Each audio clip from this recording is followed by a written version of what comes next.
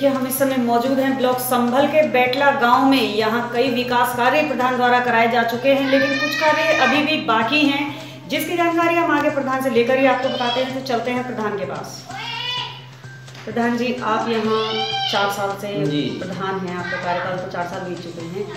लगभग क्या क्या विकास कार्य आपने यहाँ गाँव वालों को दिए हैं? हमने यहाँ पे विकास कार्यों में सबसे पहले सड़क निर्माण है नाली निर्माण है। कितना मीटर सड़क सीसी निर्माण आपने करवा दिया है? यहाँ पे हम तो कई सौ किलो कई सौ मीटर सड़कें डलवा चुके होंगे। टुकड़ों में पड़ती हैं गाँव की सड़कें जितने खड़ंजे होते लगभग हज़ार पंद्रह सौ मीटर डलवा हाँ ज़्यादा किलोमीटर ज़्यादा डलवा दी। किलोमीटर नहीं हज़ार पंद्रह सौ मीटर। मीटर। हाँ डलवा दी होंगी। और कई खड़ंजे भी डलवाए हैं। स्कूलों में भी सबने सीसी टाइल्स करा दी है। और यहाँ पूर्ण रूप आवास से मिले? आवास कोई हमारे गाँव में 2011 की सूची नहीं थी आवास हमारे यहाँ कोई भी नहीं मिला। आवास कोई नहीं मिला हमारी प्रधानी में आपको ओडीएफ हो गया पूरा? जी गाँव ओडीएफ हो चुका है। अच्छा यहाँ पर लोगों को पेंशन वगैरह मिल रही है हाँ पेंशनें मिल रही हैं साठ साल मिल रही है वृद्धा पेंशन मिल रही है। अब किस बार कुछ समस्या आई है पेंशनों में जो कि अभी तक पेंशन नहीं आई है। रुकी हुई है पेंशनें। अच्छा सरकार की जो योजनाएँ कुछ चली हैं जैसे उज्ज्वला कनेक्शन है बिजली कनेक्शन है ये मुफ़्त योजना सरकार ने हाँ, है जैसे तो कि हम- इसका लाभ आपके गाँव जैसे कि हमारे यहाँ गैस कनेक्शन है बिजली कनेक्शन है फ्री हुए हैं पूर्ण रूप से उसमें भी ओडीएफ गाँव हो चुका है लाइट में भी। मतलब पूरी तरह से यहाँ लोगों को लाभ मिला है उसका। जी। किसानों के खाते में जो सम्मान किसानों के खाते में है, वो सम्मान? हाँ। हमारे यहाँ पे उसमें लगभग 200 किसान रह गए हैं बाकी सब लोगों को उसका लाभ लगभग लो, ज़्यादातर लोगों को मिला है। हाँ लगभग ऐसा अस्सी परसेंट लोगों को लाभ मिल चुका है। स्कूल पर क्या क्या काम करवाए हैं स्कूल में हमने पूरे ग्राउंड में टाइल्स बिछवा दिए हैं लेट्रिन बाथरूम जो भी है सब कुछ सौंदर्यकरण करवाया है। सौंदर्यकरण करा दिया। क्या ये करवाने के बाद में स्कूल में कोई आपको बढ़ोतरी बदलाव कुछ नज़र आया? बिल्कुल अच्छी तरीके से आजकल हमारे यहाँ प्राइवेट स्कूल भी हैं उनसे अच्छी पढ़ाई कर रहे हैं हमारे टीचर। समय पे भोजन पर खिलाते हैं समय हैं। पे शिक्षक आते हैं।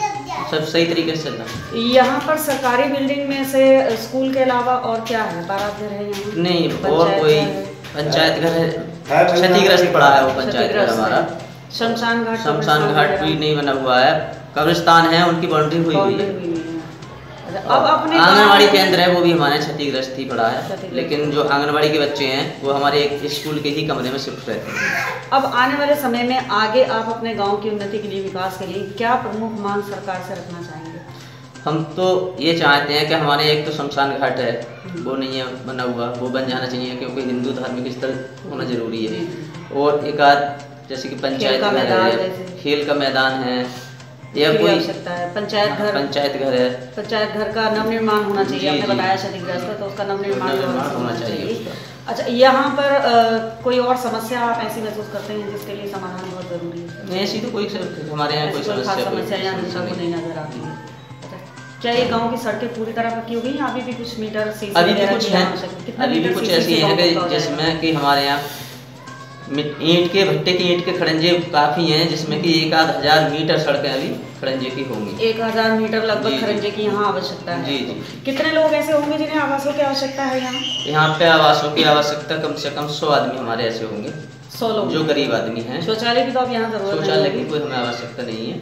और देखिए शौचालय की आवश्यकता तो कभी भी पूरी होगी नहीं कि आज शादी हो तो गई है कल को लड़का न्यारा हो जाए तो वो कहते है लेकिन अभी आज की स्थिति में आज की स्थिति में हाँ यहाँ की समस्याओं के बारे में प्रधान ने हमें बताया है। वैसे तो इस गाँव में काफ़ी विकास हुआ है, लेकिन फिर भी यहाँ बहुत से गरीब लोग, लगभग सौ लोग ऐसे हैं जिन्हें आवासों की आवश्यकता है। यहाँ लगभग एक हज़ार मीटर खरंजे की भी इन्होंने मांग की है। यहाँ सबसे प्रमुख मांग प्रधान ने शमशान घाट खेल का मैदान को लेकर की है और एक आंगनबाड़ी केंद्र पंचायत भवन, जो कि क्षतिग्रस्त है, उसका भी नवनिर्माण ये कराना चाहते हैं। मैं भी चाहूँगी, उम्मीद करूँगी मोदी सरकार इनकी मांगों को पूरा करे। मैं नाजरीन टुडे 24 न्यूज़ से।